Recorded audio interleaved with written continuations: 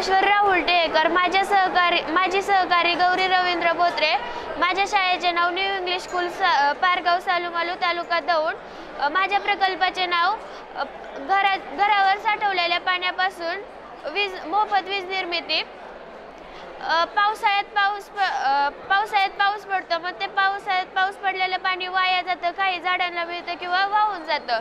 तर ते पाणी वाया जाऊ नये म्हणून त्या ते साठवून आपण त्याच्यापासून वीज निर्मिती करू शकतो.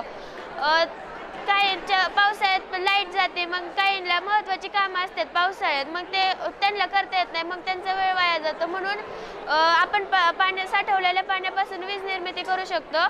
हा ह्या ह्या प्रकल्पाचा असा उद्देश आहे. प्रथम बंग बंगारात टाकून दिलेला कलर कलरचा डबा आहे. त्याच्या प त्याच्या आतमध्ये एक आईस्क्रीमच्या काड्यांनी तयार केलेला एक फॅन आहे. तो फॅन आहे. काही वायरचे तुकडे आहेत. बॅटरीमधले एक एल ई डी आहे. हिथं आर्मेचर आणि गे लहान मुलांच्या खेळण्यातील गाडीतील एक गिअर बॉक्स आहे. पा ह्या पाईपमधून पाणी पा टर्बाईनच्या आतमध्ये पाण्याचं प्रेशर पडतं. टर्बाईनवर तो पाण्याचं प्रेशर पडतो. पाण्याच्या प्रेशरमुळे तो टर्बाईन फिरतो. मग टर्बाईन फिरल्यामुळे गिअरबॉक्स आणि आर्मेचर सुद्धा फिरतात मग त्यांच्यात फ्रिक्शनल फोर्स तयार होतो. त्या फ्रिक्शनल फोर्स फोर्समुळे इलेक्ट्रिसिटी जनरेट होते. आणि जो जे आपण इलेक्ट्रिसिटी तयार करण्यासाठी जे पाणी आपण वापरले ते परत यूज करू शकतो आपण.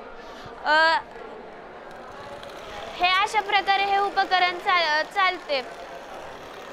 आणि खाली जे पाणी पडते ते परत यूज करू शकतो आपण. आपल्या घरात जो नळ असतो ते त्यावर सुद्धा आपण हे उपकरण चाल उपकरण चालू शकतो.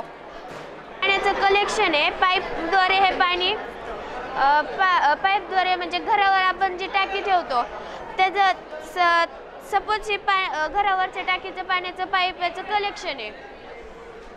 आपल्या घरात जो इन्व्हर्टर आपण वापरतो.